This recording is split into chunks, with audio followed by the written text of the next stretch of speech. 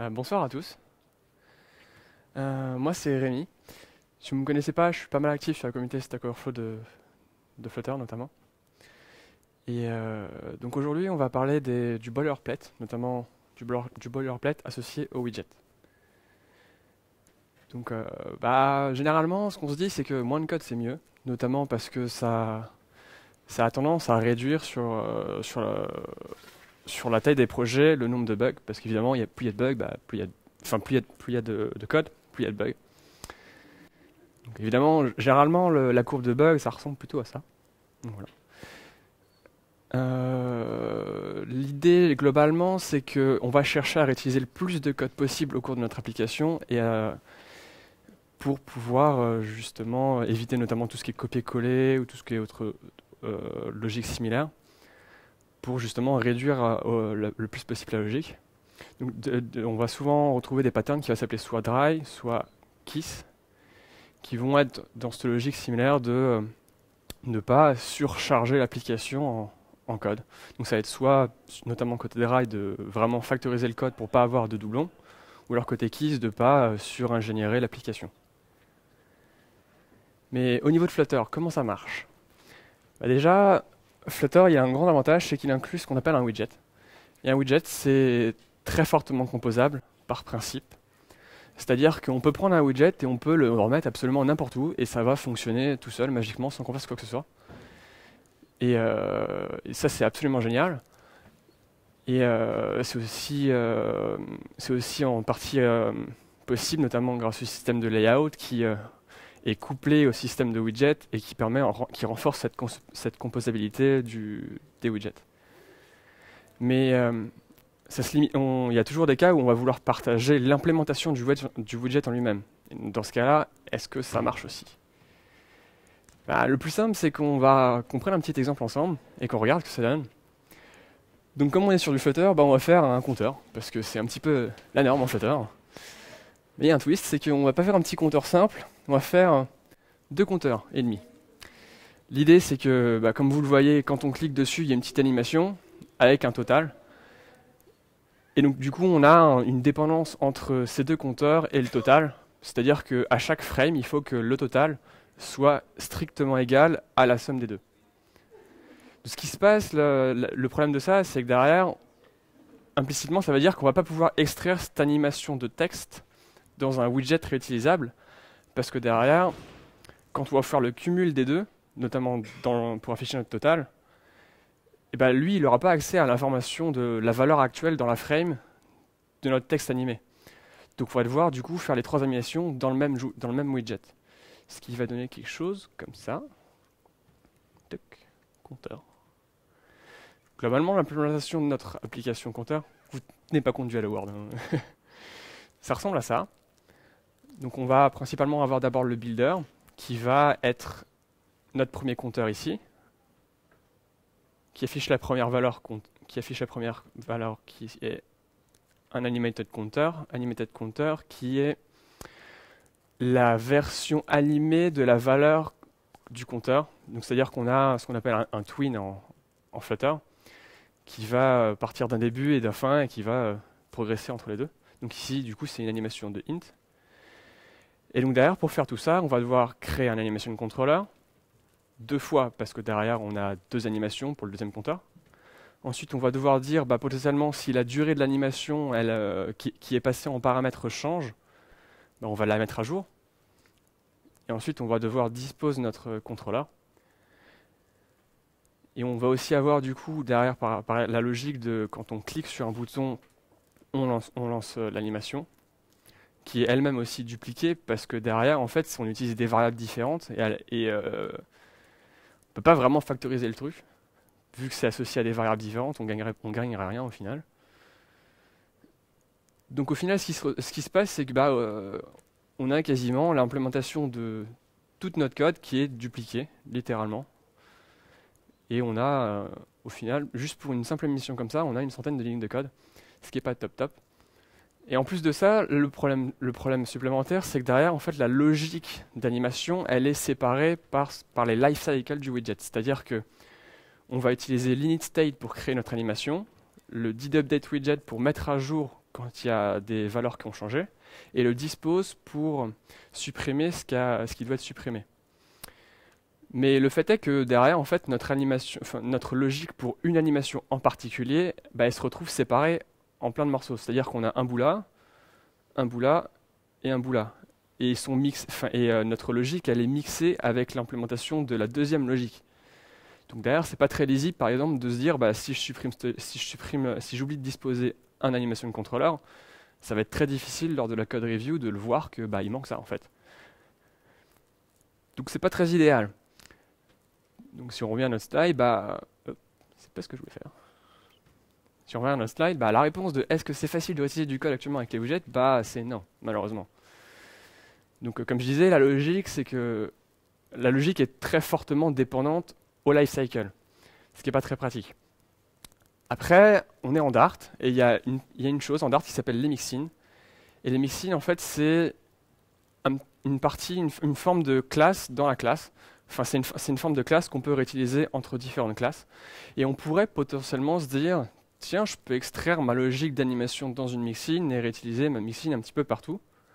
Le problème, c'est que bah, les mixins, ça cause d'autres problèmes. notamment, en fait, euh, ce qui se passe, c'est euh, quand on va définir notamment une variable ou une méthode dans notre mixin, et eh ben en fait, euh, si on utilise deux mixins et que ces deux mixins définissent des variables avec le, avec le même nom, bah, le type utilisé final sera, ils vont, tous les deux pointer vers la même variable. C'est-à-dire que si deux mixins créent une variable Toto et que les deux la modifient, eh ben, il va y avoir des, euh, des, comment dire, des behaviors, des comportements étranges parce que potentiellement, bah, ils se modifient l'un l'autre et donc du coup, euh, on n'a pas ce qu'on veut. ce qui se passe, c'est que c'est un problème qui est très similaire par rapport à ce que React a rencontré, parce que ce qu'il faut savoir, c'est que Flutter s'est beaucoup inspiré de React, et donc du coup, en fait, il a en fait réimporté ce problème-là. Et donc React avait, il y a quelque temps, annoncé que bah, les mixins, on ne va pas les utiliser en React, parce que ça rapporte plus de problèmes qu'autre chose. Mais quitte à parler de React, bah, ce qui se passe, c'est que récemment, React, ils ont annoncé une solution à ce problème-là qu'ils ont rencontré, qui s'appelle les hooks. Et ce soir, bah, ce que je vous propose, c'est qu'on va regarder est-ce que les hooks sont applicables aussi à Flutter? Et spoiler, bah, ça marche aussi. Donc euh, ce qui se passe ici, c'est que c'est pas quelque chose d'officiel, c'est quelque chose que j'ai réimplémenté de mon côté, qui est disponible sur, euh, sur Pub. Je vous passerai le lien plus tard. Mais globalement, il s'inspire fortement de, l'implémentation React. Donc le plus simple, ce sera de faire une petite démo, d'où le Hello World précédent. Et donc ce qu'on va faire, c'est qu'on va réimplémenter cette logique de compteur ensemble. Donc là, pour l'instant, ce qu'on voit ici, c'est une simple fonction. J'ai extrait la classe de widget et tout juste pour avoir juste vraiment ce qui nous intéresse dans notre cas. Pour montrer que vraiment, il n'y euh, a pas de triche derrière, je peux mettre euh, n'importe quoi. Euh, Hello Paris. Paris un petit reload et, et on a Hello Paris. Donc là, globalement, on a notre application. Euh, ce qu'on veut faire d'abord, c'est qu'on veut créer un compteur, on va commencer doucement, et qui s'incrémente. Donc pour ça, il va nous falloir récupérer une variable compteur quelque part. Donc euh, euh, ce qu'on disait précédemment, c'est qu'on ne peut pas vraiment la définir dans une classe ou dans une mixine, parce que sinon, il y aurait soit des conflits de type, soit on ne pourrait pas vraiment la réutiliser. Donc derrière, on va la récupérer de on ne sait trop d'où pour l'instant, pour l'instant on va dire bah on verra ça plus tard. Ce qui se passe c'est que pour l'utilisation du compteur par contre c'est très simple. C'est qu'on va tout simplement euh, on va utiliser un petit widget qui fait juste de l'affichage que j'ai créé de mon côté, qui va juste prendre le compteur, donc il va prendre la valeur actuelle on va dire. ensuite il va avoir une méthode onPressed qui euh, va aller incrémenter notre compteur. Donc compteur.value plus euh, Ok. Donc là, on a une logique de compteur.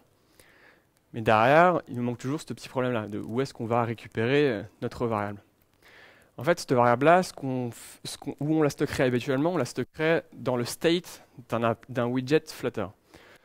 Et euh, ce qui serait cool, c'est qu'on puisse dire à Flutter, bah, donne-moi une variable du state et puis derrière, je me débrouille avec. Donc on, pourrait se dire, tiens, on va utiliser une fonction qui s'appelle, je sais pas, useState et on va lui donner une valeur par défaut.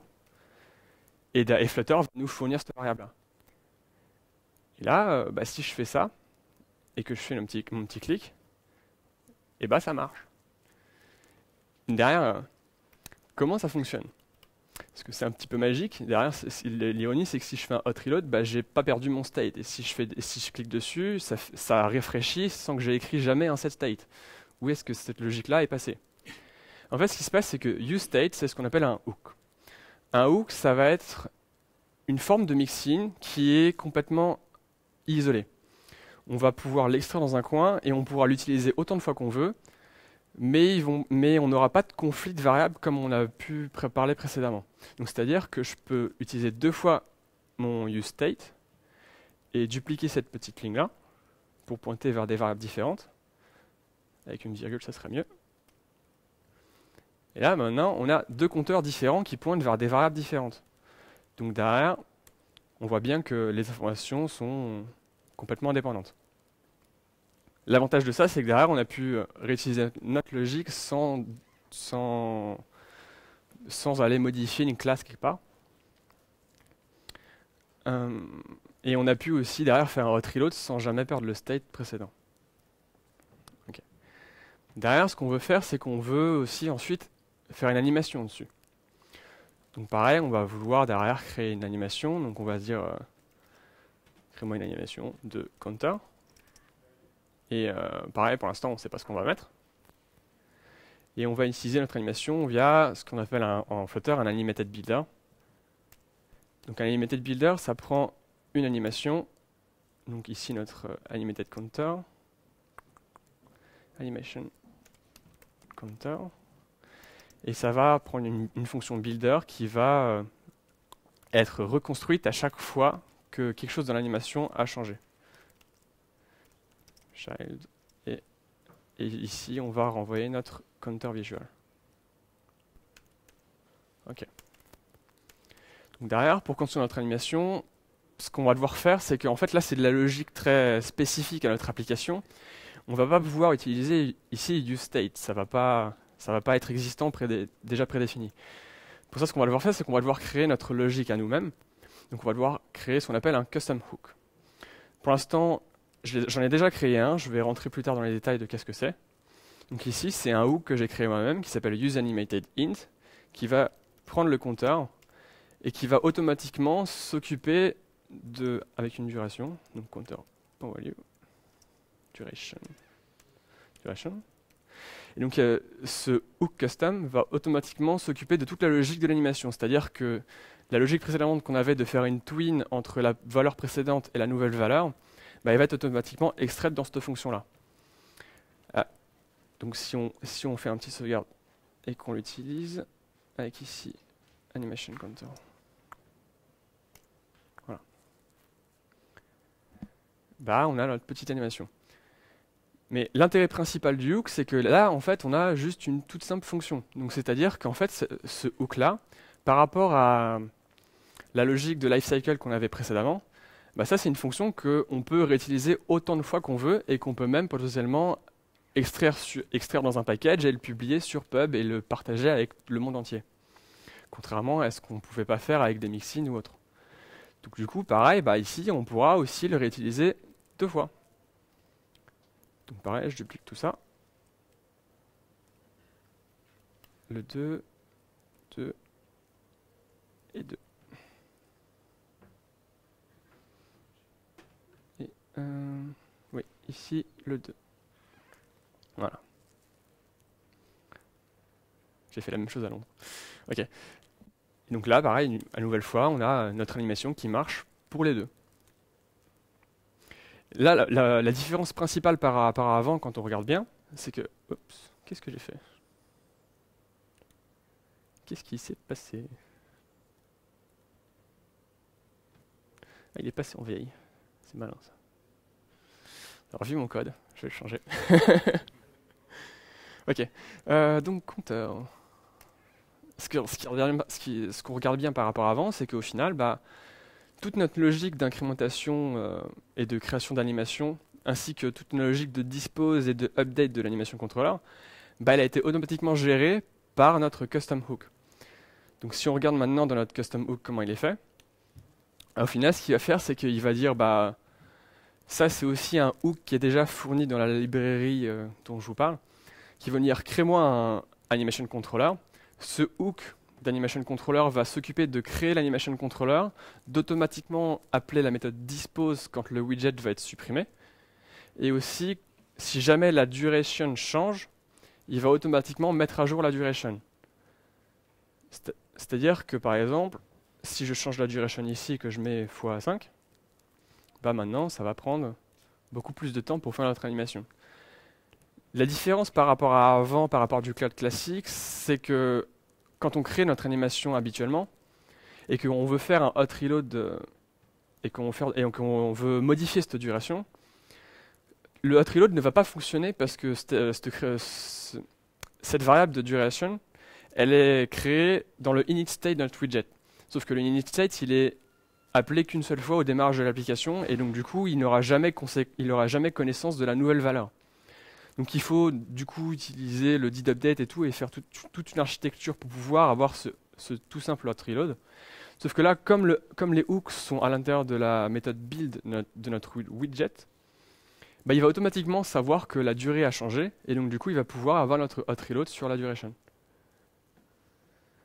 Ok, donc là, ce qui est bien, c'est qu'on a notre, on a réutilisé notre animation. On n'a pas, de doublon, et on peut la partager sur Pub. Mais on n'a toujours pas notre, on toujours pas notre total. Euh, ce qu'on peut faire, c'est qu'on peut faire la même chose, utiliser ce animated builder pour faire notre total. Le problème, c'est que si on regarde sur, euh, si on retourne sur notre application précédente, on a un deuxième problème qui est euh, que les widgets tendent à, si on veut réutiliser de la logique, s'imbriquer assez fortement.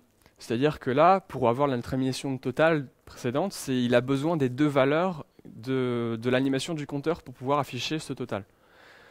Mais donc du coup, on a besoin de deux animated builder parce qu'on ne peut pas vraiment passer deux animations à animated builder. Donc du coup, on a un animated builder dans un animated builder et ça prend 5 euh, clics à lui seul c'est pas top top. Et là, on n'a que deux valeurs.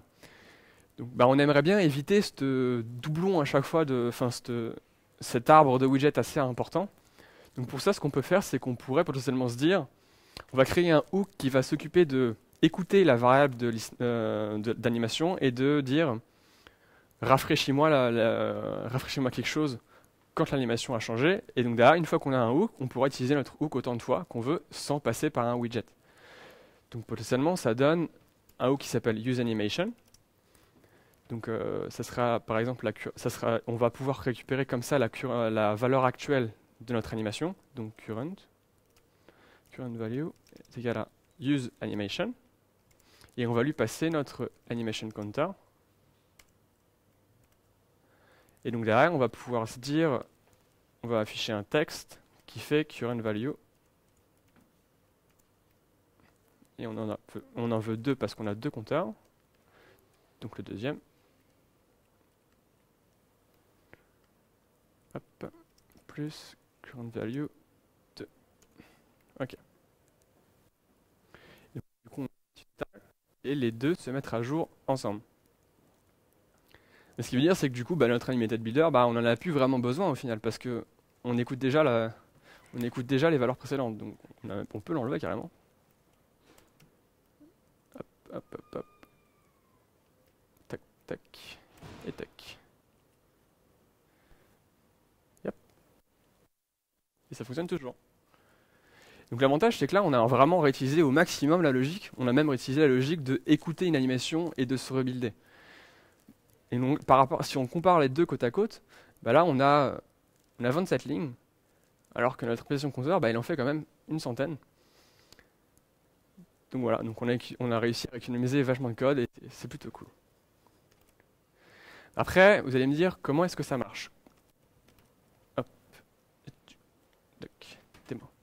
Bah, déjà pour ça, on a plusieurs règles. Ce qui se passe, c'est qu'en fait, le, fonctionnement des hooks se base en fait sur une liste de valeurs stockées en interne. C'est-à-dire que les hooks sont, stockés dans ce qu'on appelle l'element, qui est associé à un widget. Et euh, on va récupérer notre state depuis cet élément-là à chaque fois qu'on va appeler la méthode, à, chaque fois qu'on va appeler euh, soit un useState, soit un autre hook fourni par le framework. Et donc derrière, on va aller chercher dans la liste de valeurs la valeur actuelle. C'est-à-dire que si on appelle la, méthode useState deux fois, on va incrémenter la valeur en interne de... Je vais la refaire. Euh, on a une liste en interne euh, de, valeurs et on a un index associé à quelle valeur on va récupérer actuellement. Et à chaque fois qu'on va récupérer un hook, on va incrémenter cet index-là pour que la prochaine fois qu'on essaie de récupérer un hook, on va récupérer la prochaine valeur.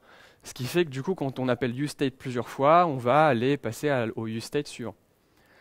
Et donc du coup, ce qui se passe, c'est que derrière, ça a une implication, c'est qu'on ne peut pas utiliser notre méthode, notre méthode use à l'intérieur d'un if, ou à l'intérieur d'un while ou autre chose, parce que derrière, si on va utiliser notre hook conditionnellement, ça veut dire que notre gestion d'index en interne pour récupérer notre state bah en fait, euh, il va pas toujours réussir à pointer sur la bonne valeur. Donc derrière, on doit toujours appeler notre hook à la racine de notre méthode build. Ça peut faire un peu bizarre habituellement, mais ça nous permet de pouvoir euh, extraire assez facilement toute cette logique business. Donc l'avantage est plutôt worth it, on va dire.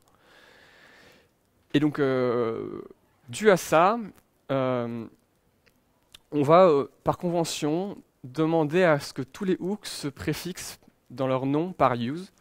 Parce que comme ça, à chaque fois qu'on va utiliser une, méthode qui commence par use, on sait qu'implicitement, c'est un hook. Et donc, du coup, on doit toujours la mettre à la racine et on, elle peut potentiellement faire des set states. Après, pour aller plus loin, il y a une deuxième chose, c'est que derrière, on notera que durant toute la démo, ben, on n'a pas quitté notre fonction.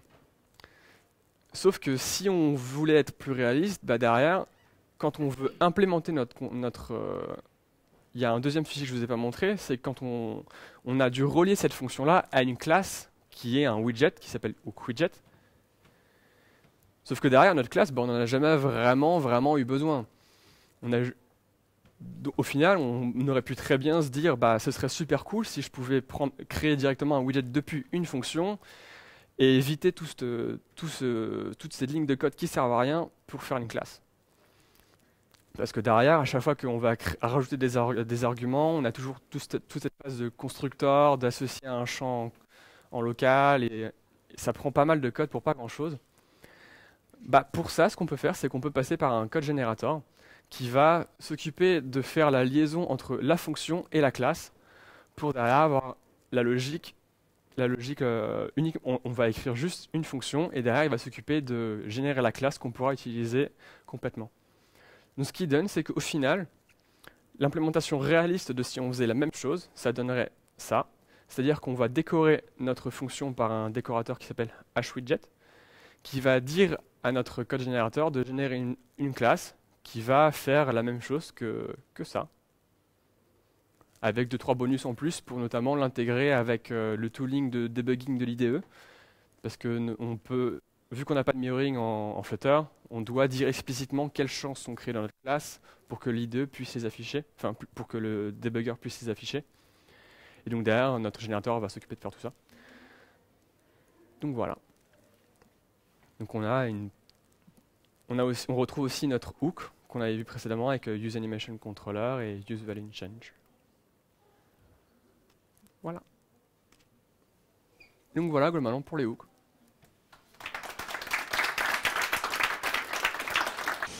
Euh, oui, donc en fait, ce que je vois donc maintenant dans l'architecture euh, du code, c'est qu'il y a certaines redondances avec ce qu'on appelle bloc maintenant. Parce qu'actuellement, il y a des choses maintenant qu'on faisait grâce à bloc, notamment récupérer euh, toutes ces. tout ça, tu récupères pas de logique en fait. Il y, a, des, choses en fait. ce que je voulais dire, c'est que grâce à bloc, on peut récupérer assez facilement, sans faire de, de CSS et compagnie, des, des données donc dans, au niveau de l'architecture de nos, de nos widgets. Mhm. Et apparemment, les hooks le permettent aussi. Oui, après, euh, les hooks en eux-mêmes sont vraiment une façon différente d'écrire un widget. Ça va pas forcément. L'objectif des hooks, c'est pas de résoudre les problèmes de state management. Donc euh, on a, c'est vrai, c'est vrai que la syntaxe du widget devient beaucoup plus simple et donc du coup on peut se dire on va partir sur une architecture purement widget mais le bloc a, a toujours du sens potentiellement dans cette architecture-là. La différence par rapport à, avant, c'est qu'on n'a plus forcément besoin de notre stream builder. Par exemple, si on, pourrait se dire, euh, on pourrait se dire, je vais récupérer mon bloc depuis le, contexte, donc je vais faire un bloc.off de, de whatever. Et derrière, à la fin, euh, on a toujours ce truc horrible de animated builder ou de stream builder qui prend énormément de code. Et on pourrait tout simplement se dire, bah, je vais utiliser un hook qui fait euh, uStream et qui prend euh, mon bloc.toto bloc et qui va me filer la, la, valeur actuelle. Et donc là, on a la current value. Et donc du coup, on peut combiner les deux, comme ça, on a, on a un code beaucoup plus plat, beaucoup plus aplati, et donc derrière un gain de lisibilité, mais avec l'avantage du bloc qui est le découplage de la logique et, et, la réutilisabilité. T'as compris ce que je voulais dire.